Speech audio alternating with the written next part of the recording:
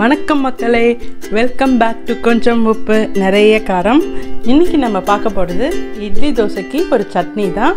Chettinad style வரமிளகா சட்னி. வாங்க எப்படி பண்ணுறதுன்னு பார்க்கலாம்.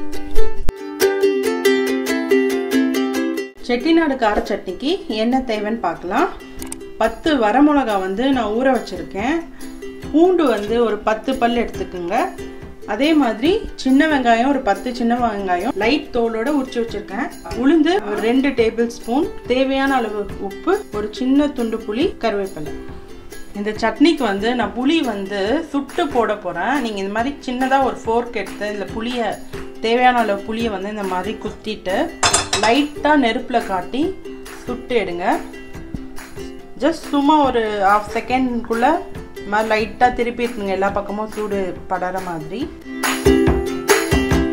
நம்ம சுட்ட புளி ரெடி ஆயிடுச்சு. உளுந்து வந்து நான் ஒரு டேபிள் ஸ்பூன் எடுத்து வச்சேன்னு சொன்னேன் இல்லையா? அதை நம்ம ஃப்ரை பண்ணிக்கலாம்.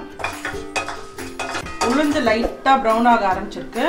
இப்போ வந்து நான் பூண்டும் சின்ன வெங்காயமும் சேர்த்து ஃப்ரை பண்ண போகிறேன் இந்த வெங்காயம் கலர் மாற வரைக்கும் நம்ம ஃப்ரை பண்ணணும். வெங்காயம் வந்து லைட்டாக கலர் மாற ஆரம்பிச்சிருக்கு. இன்னும் ஒரு நிமிஷம் இதை நம்ம ஃப்ரை பண்ணால் போதும். இதில் வந்து நான் உப்பும் நம்ம சுட்டு வச்சுருக்கோம் இல்லையா? அந்த புளியும் இதில் நான் ஆட் பண்ணிடுறேன். கருவேப்பிலை கொஞ்சம் போட்டுக்கிறேன். இதை நம்ம நல்லா ஆற வச்சு அரைச்சிக்கலாம்.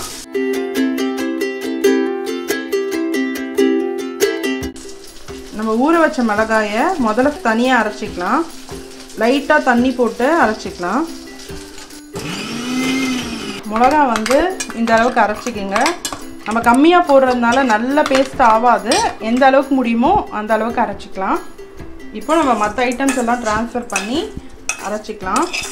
இது வந்து குறை குறந்தான் தான் அரைக்கணும். ரொம்ப பேஸ்ட்டாக இல்லை. நான் அரைக்கும் போது உங்களுக்கு கன்சிஸ்டன்சி காட்டுறேன்.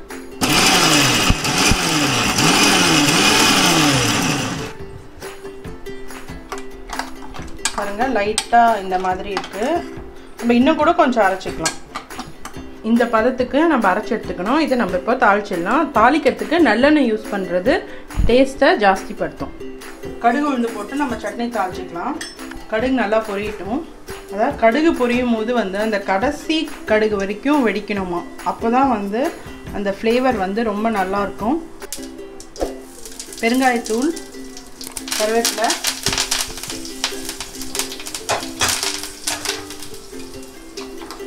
நம்ம அரைச்சி வச்ச சட்னியை எண்ணெயில் போட்டுடலாம்.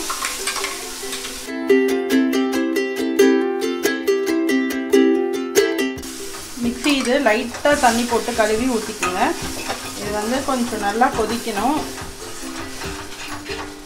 ஒரு ரெண்டு நிமிஷம் அந்த எண்ணெய் பிரிஞ்சு வர வரைக்கும் இது கொதிக்கிச்சா கரெக்டாக இருக்கும். சட்னி கொதிச்சிச்சு இப்போ நான் இறக்க போகிறேன் இறக்கிறதுக்கு முன்னாடி ஒரு டேபிள் ஸ்பூன் நல்லெண்ணெய் போடுறேன். இந்த சட்னி வந்து ரொம்ப நல்லாயிருக்கும். சட்னினாலே இட்லி தோசைக்கு தான். இது வந்து செட்டிநாட்டில் ஒரு வெள்ளை பணியார்னு ஒன்று பண்ணுவாங்க. அதுக்கு வந்து இந்த வரமிளகா சட்னி பண்ணுவாங்க. அதுக்கு தான் இது சூப்பர் காம்பினேஷன். பட் நம்ம இட்லி தோசைக்கு கூட இதை வச்சு சாப்பிட்லாம். கண்டிப்பாக இதை நீங்கள் ட்ரை பண்ணி பாருங்கள் தேங்க்ஸ் ஃபார் வாட்சிங்